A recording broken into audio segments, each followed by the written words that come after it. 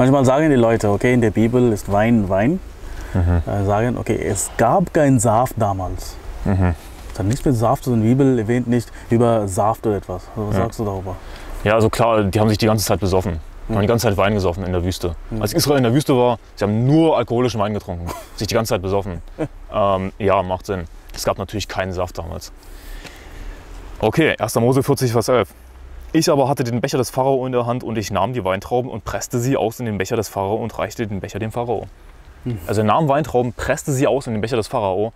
Was war das wohl? Äh, alkoholischer Wein. Ich meine, ist der in der kurzen Zeit fermentierter Saft oder was? Natürlich gab es Saft, der wurde natürlich anders hergestellt als heutzutage.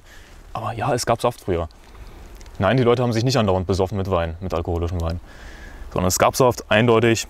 Und das ist schon etliche tausend Jahre vor Jesus. Ja.